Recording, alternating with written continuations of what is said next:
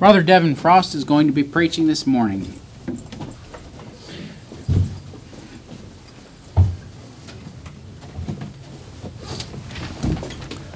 Good morning. Wet morning. If I could just add my two cents um, as far as the prices going away, I'm praying, uh, and if if you really love them too, you'll pray the same thing that they won't have any trouble. Um, Pastor's been working uh, tirelessly on that camper, and uh, I just prayed that the Lord give him uh, a good two and a half, maybe three weeks, and that um, there wouldn't be any problems with their vehicle, there wouldn't be any problems with the camper, that they just get a good time of rest. And um, if if you love them, you'll pray for that. And I just ask, I just challenge you just to pray for that continually. That uh, while they're on their break, that they just get a good time of rest. They've done a lot of work this summer, and if you've been seeing those boxes diminish, then you know it. Uh, it's uh, it's a lot of work to pass out New Testaments. I know because um, uh, I do it, and uh, I think we were able to get uh, four boxes out. I just got a small little car. But I was able to take Devin with me on Thursday, and we got, I think it was two, two boxes, I think, maybe two and a half boxes out, and then on Friday, we got another two and a half, two, two boxes out, so that makes it about four, four and a half boxes. And if you'll bring your car, uh, we can uh, have two more people maybe in there, or maybe four, and we can bring another bunch of boxes. So if you got any time this week and um, you'd like to come up with us, I won't be taking the church bus, so I can't take a whole lot of people, but I, would like to take you. Uh, numbers 13, and I'll just keep talking while you're turning there. Numbers 13. I had a lot of fun in Miami Beach. I saw a lot of, a lot of things. Uh, doesn't seem very different to me than where I grew up, just a little richer. I grew up in South Florida. And so, um, but there's a, there's a great need there, just like there's a great need uh, in Lake Worth and West Palm Beach, uh, all around the world. Um, there's a great need of people, uh, laborers, those that preach the gospel, that um, would teach the good news. Numbers 13, um, we're going to be uh, preaching. I don't really have a message titled, Tony, but it, it's kind of interesting some of the titles he's given, some of the messages that I've preached. He's kind of creative. Um, so I guess I'm going to think of one right now, Tony. Um, Missing God's Best. So that um, it kind of goes along with what I'm talking about. Uh, many people have their own idea of what life is all about. They have their own uh, saying it. I was in Miami Beach, and I tell you what, I saw some really fancy homes. I saw a lot of things that um, probably no one in this church will ever ever have. I, I saw a lot of uh, rich homes, but there was two in particular. One, it was a white building, and I tell you what, it just kept going and going and going. It was covered in cedar. I thought I was looking at Solomon's temple. I mean, there was a fountain flowing out out of the front of it. There was a gate higher than me. And I, I just couldn't stop looking at it. I'm going from house to house and I take another glance at it. It was pretty. It was beautiful. Um, I'm never going to own a home like that. Um, and I wouldn't say that if you offered me a home like that, that I wouldn't take it. But, you know, I'll never be sad if I never get a home like that. Um, because I don't, I don't want one. I mean, if you, if you came up to me and you offered me that, that immaculate home, if you offered me Solomon's uh, palace to live in, I, I wouldn't necessarily turn it down. I mean, it'd be great to grow up in a place like that. But that's not what life is all about. Um, and I think you'd agree with that. A lot of people think life is, is about that house, and it's about building um, a, a, life here. It's about building a, uh, a legacy, building something that can last forever in their own eyes. But it's good to live for Christ. And I'll tell you, if you ever spend any of your life living for the Lord, you'll say there's nothing better than living for the Lord Jesus.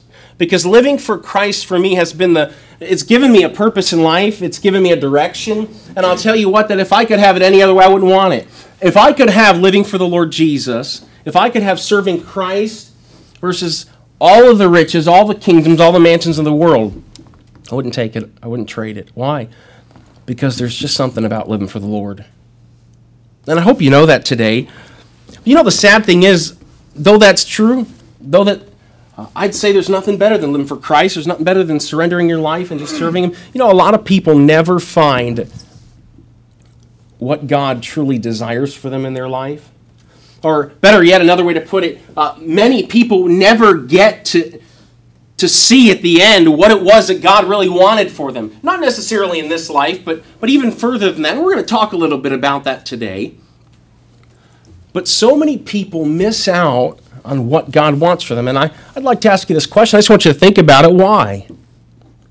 What, what is it? Why, why don't people uh, ever reach that point? We're going to look at a story today, another one. I, I want to preach a message out of Numbers 13 about a, a group of people that missed everything that God wanted for them. And I want us to figure out what it was that they missed and how that applies to you and me. I want us to see why it was that they missed it. Numbers 13 is a very uh, well known story um, of the children of Israel, particularly the generation directly coming out of the Exodus. If you've ever read the Exodus, and this is important if you've ever read it, because um, if you've ever read the things that God did, they, this is very close to what's happening right now. They had just, I mean, maybe weeks, maybe months, just seen God part the Red Sea. All of the miracles, God had followed these very people in a cloud. The quail, I think it was two chapters before, had uh, fed them. And at the end of this, you're going to see that they've tempted him 10 times during all this, during all these miracles, during all the things that are going on. They've come now to the wilderness of Paran. Uh, different people have different ideas where that wilderness was. We know for sure it was somewhere near Kadesh Barnea because that's what the Bible tells us. Um, somewhere in the Negev. Um, and we pick up, I think, right after the story of Miriam uh, and Aaron being cursed because of uh, their rebuke to Moses. Ch- chapter 13, verse 1. And the Lord spake unto Moses. Actually, one verse to pick up the context of who Moses is during this time of rebuke in chapter 12. Uh, God says of Moses, now the man Moses was a very meek above all the men which were upon the face of the earth. And if you could just, uh, that'll help you kind of get to the flow of uh, what the Lord thought about Moses. And the Lord spake unto Moses, saying, Send thou men that they may search the land of Canaan, which I give unto the children of Israel, of every tribe of their fathers shall ye send a man, every one a ruler among them. And Moses, by the commandment of the Lord, sent them from the wilderness of Paran. All those men were heads of the children of Israel. All these were the names. and we're not going to read the whole names, but uh, I do want you to look at verse 16. These are the names of the men which Moses sent to spy out the land. And Moses called Hoshea, the son of Nun, Yehoshua, which means uh, the first God is salvation, but Jehovah is salvation. That's interesting, isn't it? That's interesting, isn't it? Because as they go out into this, uh, this vast land to search it out, God names one of them Jehovah is salvation. I forgot to pray at the beginning, so we'll pray and we'll just keep going uh, from that point. Father, thank you for uh, this passage and for uh, God an opportunity to just to preach it. Lord, I pray that um, you just use it in my life continue to uh, this morning. I pray for these uh, this church family that you'd have your hand on their lives, that you'd uh, you'd speak to them from your Holy Spirit. Teach us what you have for us in Jesus' name, Amen. Joshua, Joshua, Yehoshua, Jehovah is salvation. And as they go into this land, God is impressing unto Moses, or better yet, Moses is impressing unto these 12 spies that when you go, remember, Jehovah is your salvation. And that's going to be important as you begin to see where they go. Do you know that uh, most of us know this already, but just for, for sake of context, it really wasn't God who wanted these men to go, and it wasn't a bad thing that they went. Uh, no, Deuteronomy chapter 1, verse 22, uh, we find later that uh, the children of Israel knew that God wanted them to go into the land. And they said unto God, Allow us before we go into the land to send forth uh, men to go before us. They wanted uh, men to go before them. Why? Because they wanted to prepare for what God had for them. And they said, We want these men to go before us and to look at the mountains and look at all the cities and um, to see how we're supposed to take it, to see the best route for us to go about it. We want to go and we want to verify everything. You know, there's nothing wrong with proving God. There's nothing wrong with going about uh, in your life and looking ahead and, and just wondering how things are going to be and how it's all going to work out. It's a great thing. And you know, it said in Deuteronomy 1 that Moses, that pleased him. Why? Because it showed initiative. It showed the fact that they were going to move forward and that they were going to do what God wanted them to do. And so here they are. They're at the border of, the, of, of Canaan, right in Kadesh Barnea, ready to go and take everything that God had for them. And they sent out these spies. Moses sent them, verse 17, to spy out the land of Canaan, and said unto them, Get you up this way southward, and go up into the mountain and see the land, what it is, and the people that dwell therein, whether they be strong or weak, few or many, and what the land is that they dwell in, whether it be good or bad, and the cities that they dwell in, whether in tents or in strongholds, and what the land is, whether it be fat or lean, whether there be wood therein or not, and be of good courage, and bring of the fruit of the land. Now the time was uh, the time of the first ripe grapes. So they went up and searched the land from the wilderness of Zin to Rehov, as men come to Hamath. And they ascended by the south and came unto Hebron, and Achamin, and Sheshai, and Talmai, the children of Anak were. Now Hebron was built seven years before Zoan in Egypt. And they came unto the brook of Eshcol, and cut down from thence a branch of with one cluster of grapes. And get this, and they bare it between two upon a staff. And they brought of the pomegranates and of the figs. Verse 24 The place was called the brook of Eshcol because of the grapes which the children of Israel cut down from thence. And they returned from searching of the land after many, or excuse me, after 40 days. And it seemed all was well. I mean, they go up in, into these mountains, and 40 days in the land. I want to go to New Zealand for three months. And if I have an opportunity sometime, I'd like to tell you uh, all of the things that we want to do while we're over there. But here these, these uh, 12 men are. They've had the opportunity to scan the entire land of Canaan, probably the size of Florida, at least the, the, the little end tip there. And they look at all the nations, all the different people that were there. And the Bible says that the land was full. Can you imagine a cluster of grapes, the size so large that you need two people on a, on a big rod to carry it? I tell you what, grapes are my favorite fruit. And if I saw a cluster of grapes, that, that would just be astounding. Do you know that some of the largest grapes in the world are, are found in the nation of Israel? I found that astounding when I figured that out. I don't know if it's actually the, the, the, place that harvests the largest grapes. I can't verify that. But I know that they have a very good crop in Israel, even to this day when they harvest their fruit. So when these people go, they find of the figs. And you know what? They find uh, of the pomegranates. They bring it back. And then in verse 26, and they went and came to Moses and to Aaron and to all the congregation of the children of Israel unto the wilderness of Paran to Kadesh and brought back unto them and unto all the congregation and showed them of the fruit of the land. And they told him and said, We came unto the land whither thou sentest us, and surely it floweth with milk and honey. And this is the fruit of it. And it was exactly what God said it would be. And you know, friend, when God says that if you serve Him, if you give your life to Him, that He's going to bless you, you know, when you do that, God blesses you. And you know that everything God says is going to be, it always ends up being that way, doesn't it? Do you know that the Bible says that uh, blessed is the man that doesn't walk in the counsel of the ungodly, doesn't stand in the way of sinners, doesn't sit in the seat of the scornful? And you know the person that actually does that, he doesn't uh, sit in the seat of the scornful, he doesn't do those other things. You know that the Bible says it, and you know what? Those men are blessed. And I've met those kind of people. They're blessed. Why? Because when God says it, it really is. And in this case, he, they prove him. They go and they see the land, and it's full. I love what it says in verse 27. The Bible says it's a land flowing with milk and with honey. And that's important because milk is, um, where does milk come from? Health. It comes from cows, it comes from cattle.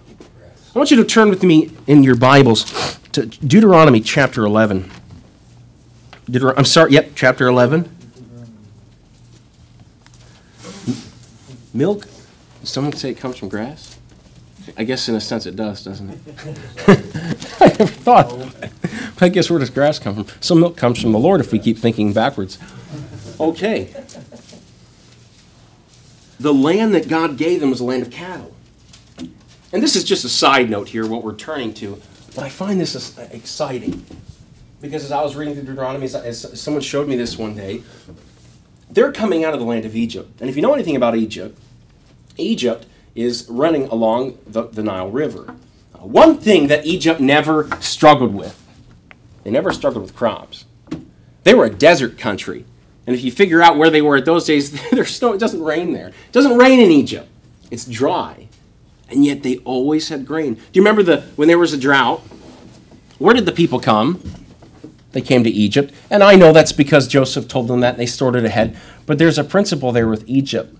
Egypt never needed to seek the Lord for anything because they had the Nile River. And if you find out where they grew their crops, if you ever look at where e- Egypt at the time uh, of the Exodus would, would have grown their crops, it would have been along the Nile River. Why? Because that was where all the water is. And you know, year round they could grow a crop and never had a struggle. They didn't need one rainfall. Why? Because the Nile. You know that a lot of the gods that they had were the gods of the river. Why? Because they worshiped the Nile. Because the Nile took care of them. The Nile was there for them. The Nile provided for them. And you know what God says? The land that I'm taking you to, look in chapter 11 of Deuteronomy. But your eyes in verse 7 have seen all the great acts of the Lord which he did.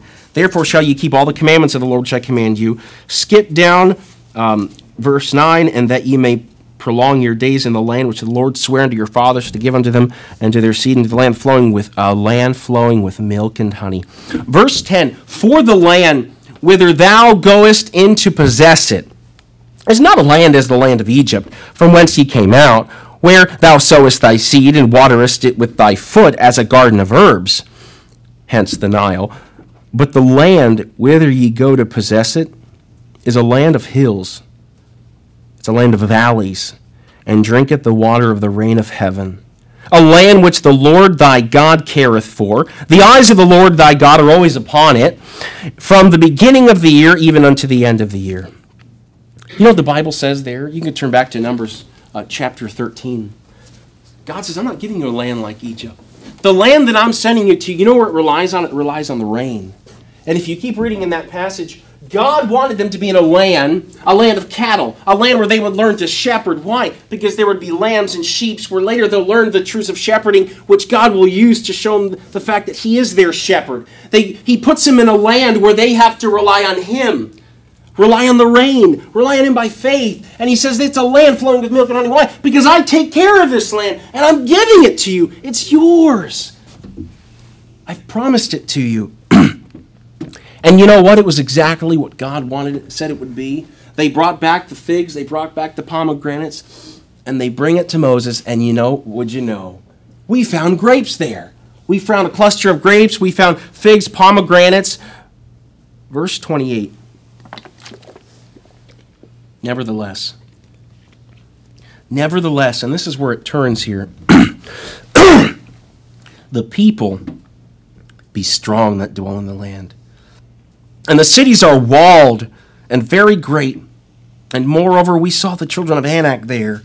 The Amalekites dwell in the land of the south, and the Hittites and the Jebusites and the Amorites dwell in the mountains, and the Canaanites dwell by the sea and by the coast of Jordan. Uh, we don't have time to preach on Caleb this morning. I, I, I love Caleb, verse 30. And Caleb stilled the people before Moses and said, Let us go up at once and possess it.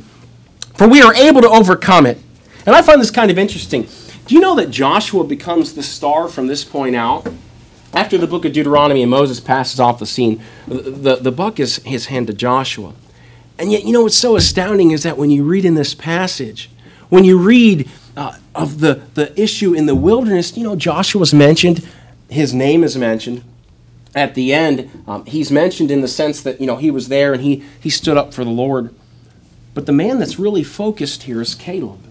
Why? Because Caleb actually believed the Lord. Caleb actually wanted to, to pursue what God had for him. Caleb actually wanted to see what God could do in that land. Caleb alone in this verse says, We are a, well able to overcome it but the men, verse 31, that went up with him said, We be not able to overcome it against the people. Why? For they are stronger than we. And they brought up an evil report of the land which they had searched unto the children of Israel, saying, The land through which we have gone to search it is a land that eateth up the inhabitants thereof. And all the people that we saw in it are men of great stature. and there we saw the giants the sons of Anak, which come of the giants, and we were in our own sight as grasshoppers. And so we were in their sight. Basically, what God wanted. We know what God asked for. But it can't be done. Those giants that are in the land, all of the all of those difficult cultures, you know what they said in the verses? There was this fruit, but you know they have walled cities. I mean, these people are huge. There's giants in the land, and, and there's the, the Amalekites are there. They they saw the, the children of Anak are there. The, the Jebusites. Oh man, look at all the people. We're not going to be able to face them. Why? Because we're just a bunch of grasshoppers. Oh man, we can't do this. Caleb alone said we could. Yes, we can. When we tell God his way is too hard and we can't do it, you know what we're basically saying to the Lord? You know what you're saying when you say, God, you know what? I just can't do it. We look at uh, what God wants and we know what God ha- is asking us to do with our life. We know where uh, Christ is asking us to give these things up. You know, that sin, it's just in my life and I just can't get rid of it. I've tried so many times, I just can't give it up. You know what we're saying? We're saying, God, you lied. I know you said I can overcome this land, Lord. I know you said I could do this, but God, it's just too much. They're just too big. It's just too far. I just can't give that one up. I can give this up. I can go this far. But when it came down to it, we're just not able to do it. Ten spies come back. We are outnumbered. And God lied to us, He deceived us. There's giants in the land. and then the Bible says in chapter 14, and all the congregation wept. They heard the, the, heard the testimony of Canaan. They, or not Canaan, of Caleb. They heard the testimony of the men. And the Bible says, for the tenth time, they weep. And their voice, and they cried, and the people wept that night. And all the children of Israel murmured against Moses and against Aaron. And the whole congregation said unto them, Would God that we had died in the land of Egypt! Or would God that we had died in this wilderness? And wherefore hath the Lord brought us unto this land to fall by the sword, that our wives and our children should be a prey? Were it not better for us to return to Egypt? And in that light, just the, the normal Christian that just won't take that next step. You know what their resolve is? Verse number four. And they said one to another, let us make a captain. And let us return to Egypt. You know, a lot of people will serve Christ to a point. It's just like that parable with the sower who's sowing his seed. Some of those seeds, they fell on stony ground. And you know what the Bible says? That they believed. They believed for a while. I believe those were believers. I really do. They believed. But you know what happened when trial and tribulation came? They fall away. They turn their back. Let us make a captain. Let us go back into Egypt. Let us return. You know what the Bible says they did? I think it was Psalm 90, maybe 92. They hardened their hearts. We're going to look what they did specifically in a little bit. But they wouldn't go in. They wouldn't do what God wanted them to do. They wouldn't labor for Him. They wouldn't move forward. And I'll tell you something, believer. You can, you can do so much for the Lord, but there comes a point where there's going to be sacrifice. There's going to come a point where there's going to require some faith.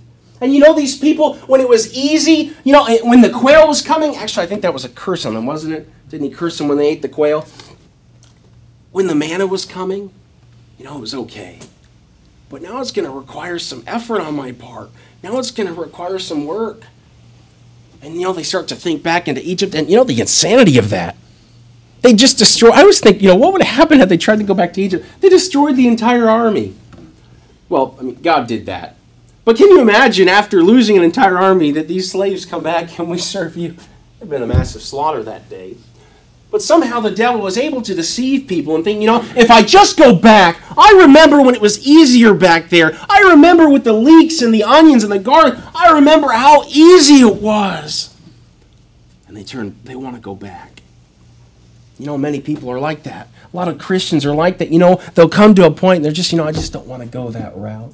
God, it just can't be done. Lord, I just don't have the strength.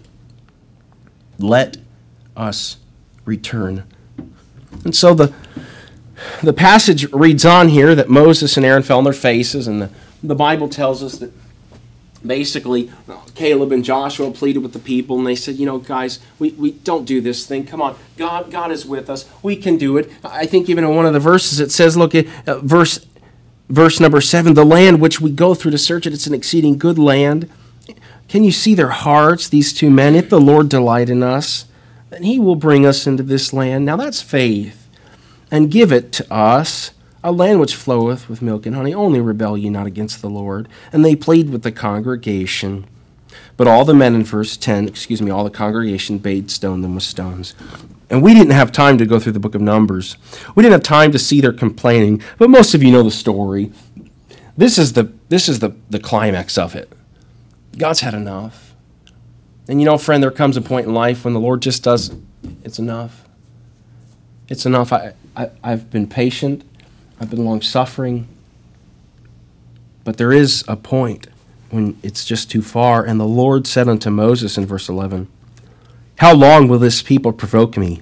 And how long will it be ere they believe me? For all the signs which I had showed on, among them, I will smite them with pestilence, and disinherit them, and will make of thee a greater nation, and a mightier one than they. We're not going to read through the, the, the plea of Moses, but I want to kind of just bring it together here because I learned something. Not something I didn't know, but in the passage, it really, it kind of humbled me a little bit when I first started studying Numbers 13. Moses defends them. God, look, I know these people have done bad.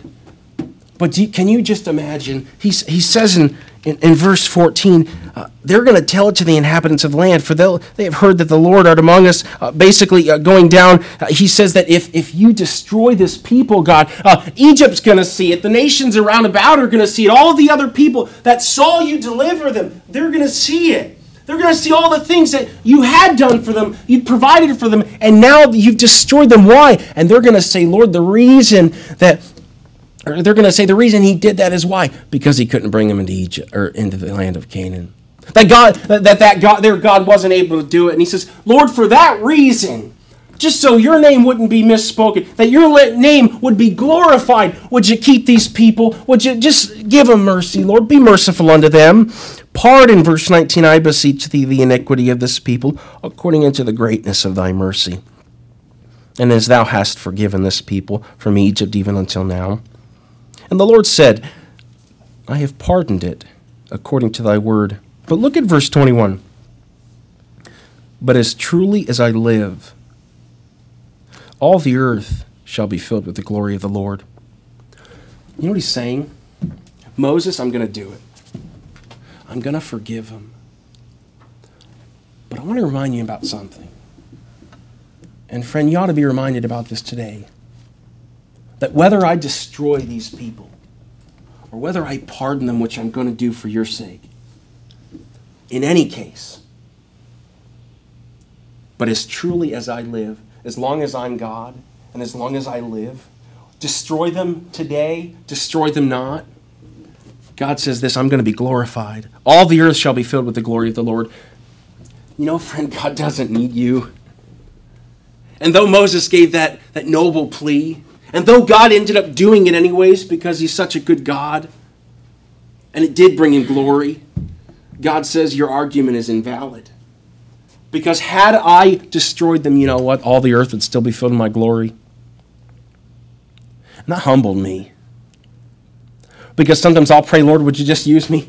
Even though I'm not worthy, even though I know I failed here. God, even though I did this and I've embarrassed myself and I've embarrassed you, God, would you just use me in spite of me? Why? So that you'd be, because then you could be glorified. Why? That you could use me and you could still receive the glory. You know God's saying here? Devin, I'll use you. I'll be merciful, but don't forget, I don't need you to be glorified. I don't need you to have my glory fill the earth. If I destroyed you, I'd still be glorified. And that humbled me because there have been times in my life where I know it. I have prayed that exact prayer that God, I'm sorry. You know what you ought to be praying? If the Lord will, we shall live. If the Lord will, I'll live and do this and that. God, you'll be glorified with or without me. You could destroy me. you could be merciful on me. It really doesn't matter. I'm just asking for grace. And you know what he's trying to teach uh, Moses here? And later, he'll teach him the same thing. I'll be merciful unto whom I will be merciful. And I'll. Uh, the rest of that verse, um, yeah, that's a good verse. I was going somewhere with that. I'll be. What's the rest of that verse, Al? I'll have mercy on whom I'll have mercy, and I'll. I'll harden whom I will I harden. And if you look at the context of that passage, I believe he was asking for mercy again there. He was asking for some, something for the Lord to do. He wanted to see his backside. And he gave him all these reasons why. And God said, I'm going to do it. But Moses, don't forget that I'm not doing it because of the reasons you gave me. Whether I do it or whether I don't, it's going to be because I, I do what I want to do, because I'm God. and that humbled me when I read this passage. I wasn't even looking for it. It was a side note. But these this generation it had to suffer because of what it did. Verse 22. Because all those men which have seen my glory and my miracles which I did in Egypt and in the wilderness and have tempted me now these 10 times and have not hearkened to my voice surely they shall not see the land which I swear unto their fathers, neither shall any of them that provoked me see it. Of course, Caleb gets to see it in verse 22, but uh, look at verse 28 for time. Say unto them, As truly as I live, verse 28, saith the Lord, as ye have spoken in mine ears, so will I do to you. Your carcasses shall fall in the wilderness.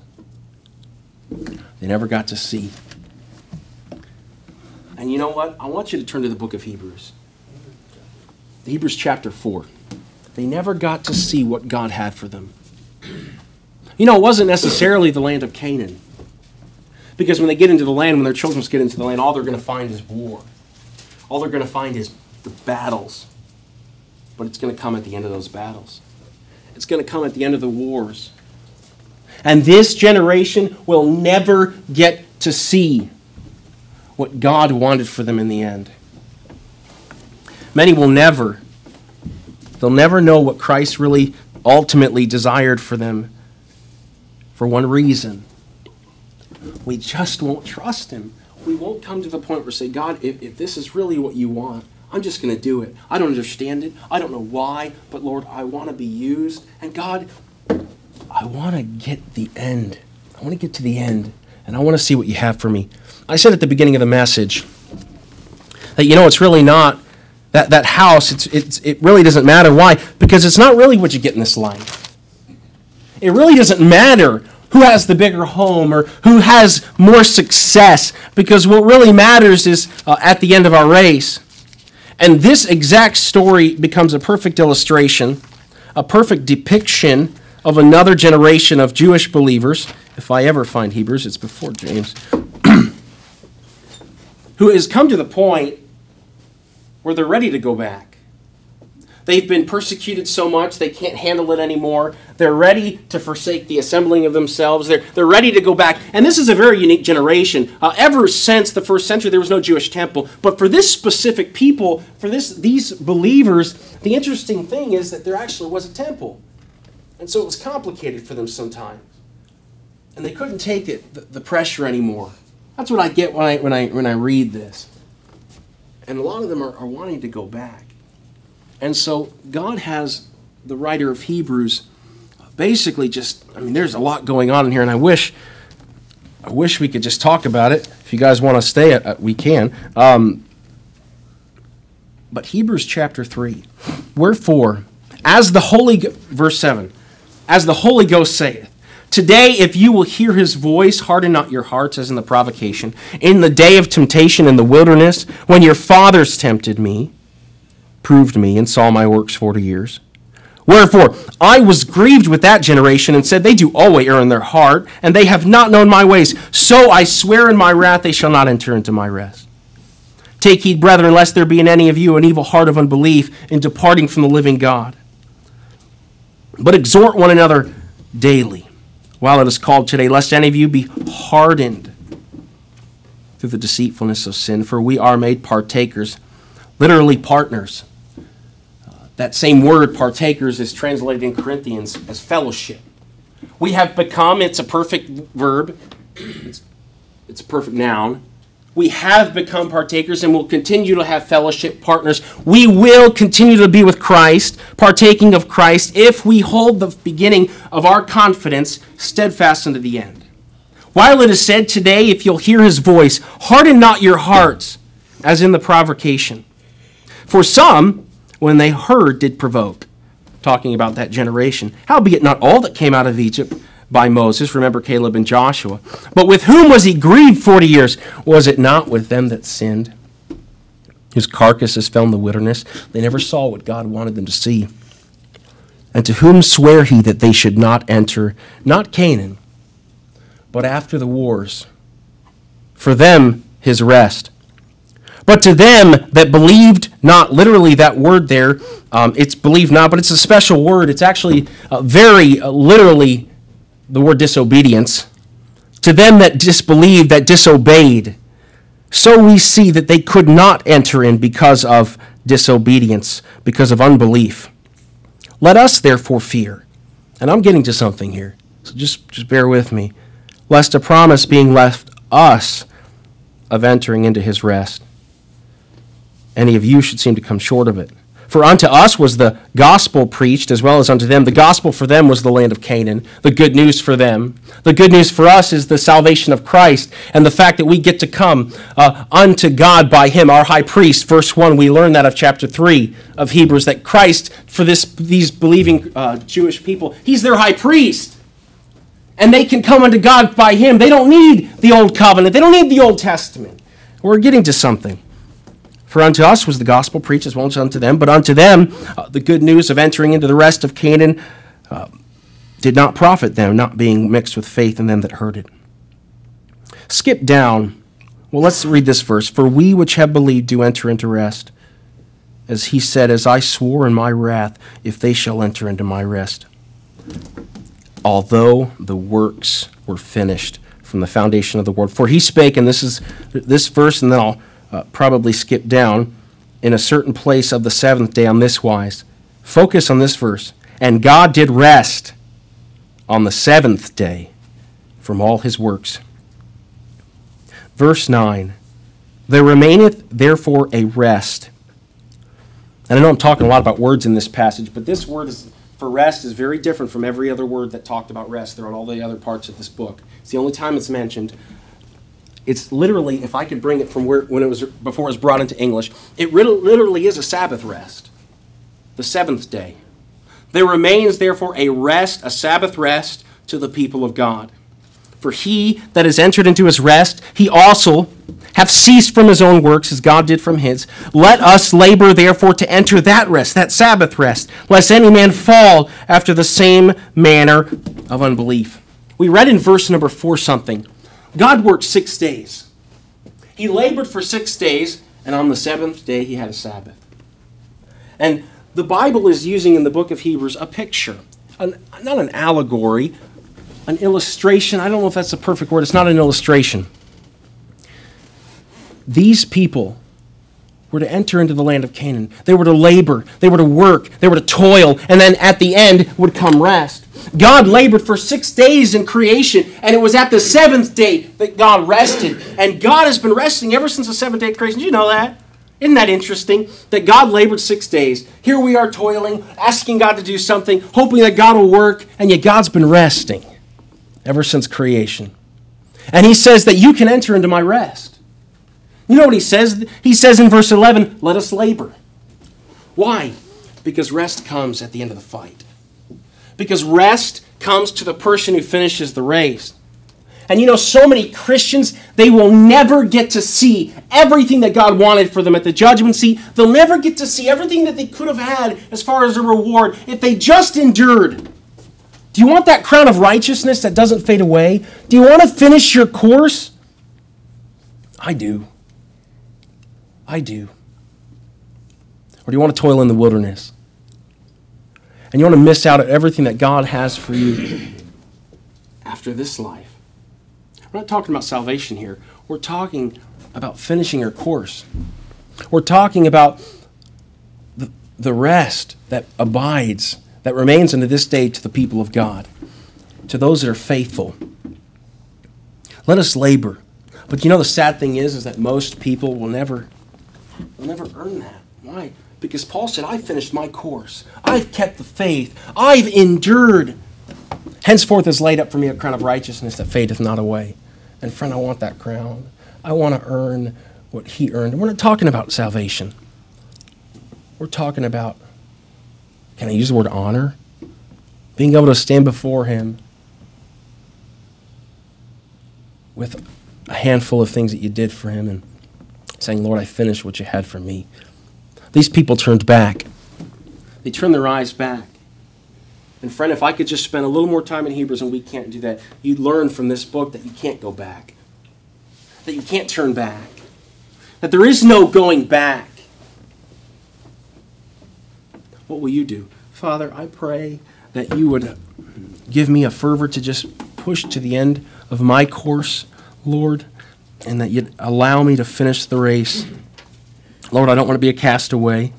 I don't want to be a branch thrown aside. I want to stay on the vine. And God, I beg you to use my life. I beg you to use this uh, church body. Every one of these church members, Lord, I beg you to use their lives. I pray, Lord, that you'd continue to guide us, to help us, Lord, to grow. I pray um, that you'd send forth laborers out of this ministry. And Lord, I pray that we wouldn't uh, lose any to the world. I pray that you'd work on hearts today and that you'd have your way. In Jesus' name I pray. Amen. Brother Chris, I'm going to hand it over to you.